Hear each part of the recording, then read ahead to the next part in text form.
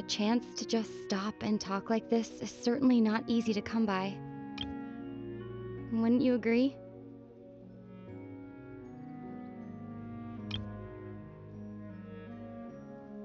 That battle earlier was tough. The one against Dain, I mean. I didn't expect that after everything, he would still hesitate to raise his sword against me. Were it not for that, perhaps I'd still be no match for the Twilight Sword. Even after 500 years. The loom of fate, huh? I still haven't found a way to utilize it to its full potential. But there's still time before the heavenly principles awaken. Yes, for 500 years now, ever since the cataclysm in Khaenri'ah, there's been no sign of activity. Not long ago, you witnessed the Hydro Archon destroy her divine throne. Yes? Such a flagrant disregard for the rules, and still Celestia took no action. I suppose that's proof enough of the Heavenly Principles situation. However, the Heavenly Principles will awaken. We just don't know when that will be, or what might trigger it. You could say that. Just look at Caribert. He was so pure and single-minded. The space we now find ourselves is a perfect representation of who he was. Quiet and peaceful. Even as a hilichurl, seeing the terrible sight within the mirror wasn't enough to taint his spirit. He brought comfort to the people of this world, even though he was denied the very right to be a part of it. So ask yourself this. Who was it that deprived him of that right to exist? Of course, that's only one example. My feelings about the heavenly principles are too complicated to explain in just a few words.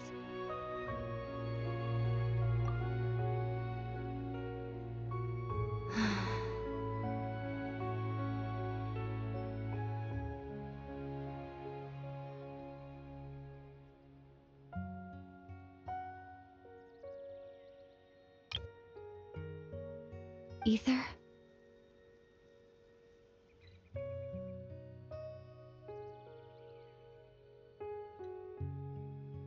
You're the only one in this world who calls me that. There's so much I wanted to ask you, but for some reason, I'm not interested in asking those questions right now. There's just one thing I have to ask. One thing I could never understand. Why? Why can't we continue our journey together?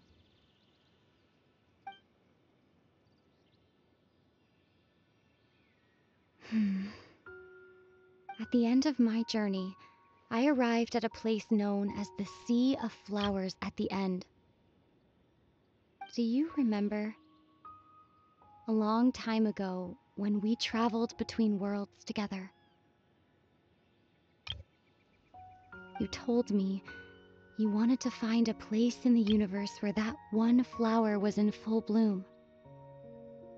To have a place like that suddenly appear before me.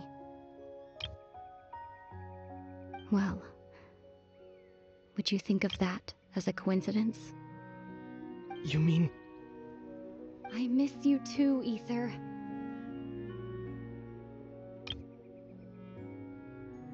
But as this war continues to rage, and as I continue to seek that final answer,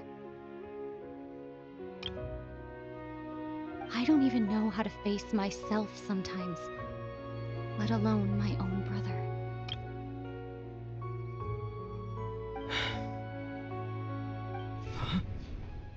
what's going on? This space has lost its tether. I doubt it'll be able to exist much longer. In fact, aside from our inability to physically interact with each other, there's something else you should know about this space. With Caribert gone, we won't be able to remember anything that happened here. Everything in this space will be wiped from existence, including all memory of our reunion. But as a player, I mean, I think I will remember. You're only telling me this now?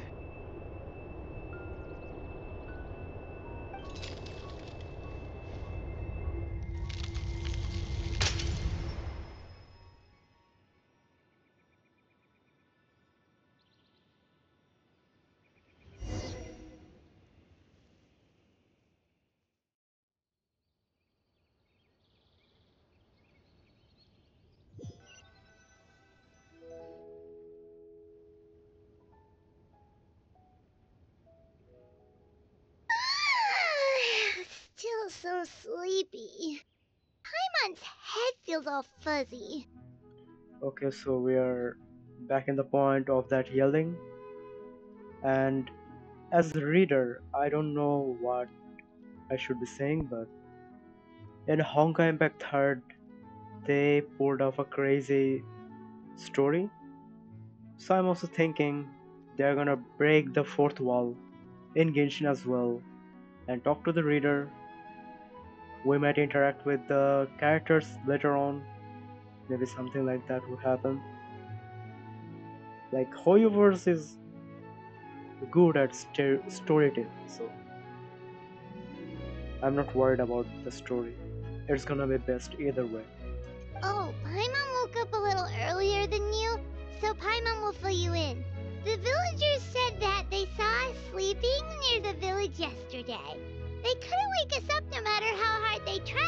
decided to just bring us back here. Oh, and Dain came by just now. It looked like he was injured. He didn't say anything though. Just made sure that you were alright and left. Kinda seemed like he had a lot on his mind, but that's Dain for ya.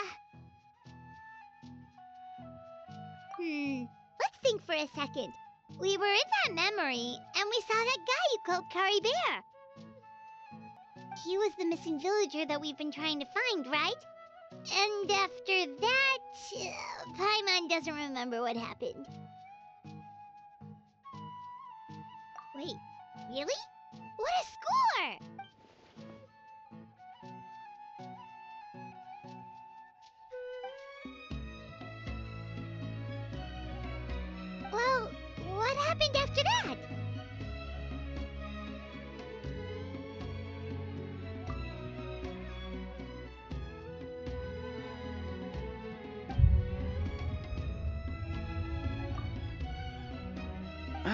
There you are.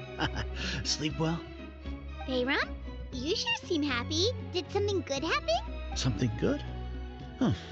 Wasn't anything good or bad, I'd say. It's just that, well, the village organized another search party yesterday. It didn't feel right to leave all the searching to the adventurers. So there we were, searching away, when suddenly this one guy said it all came back to him. According to him, one day around dusk he was passing by this one tree outside the village, and he saw our missing villager. There he was, sleeping under that tree all by himself. His parents came a little later to wake him up, and they all left together. They looked like quite a happy family, apparently. And after that, well, we all started to feel like that really is what happened. Kind of strange that we forgot all about it for so long.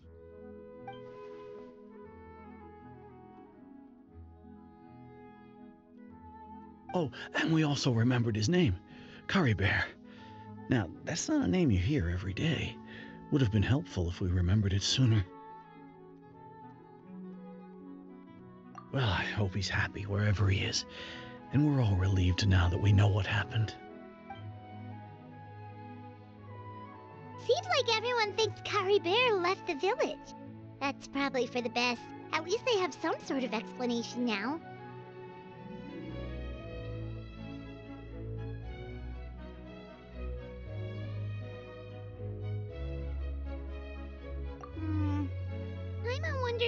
Atos is doing.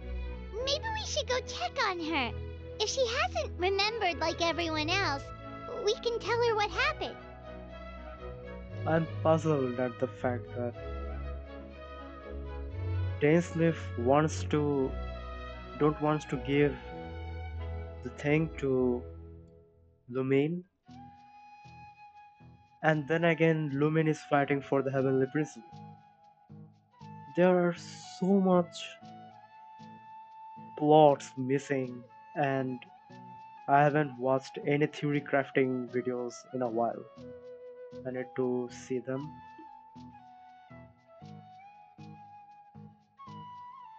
Dainsleif is knows something that we don't and Lumine is trying to do something that we don't even know. And there is the Fatui Harbingers. There's the this. Maybe in future we're gonna know there's something there's someone else organization from the behind. Paimon didn't see her in the village just now, so she's probably at the tree. Come on, let's go talk to her.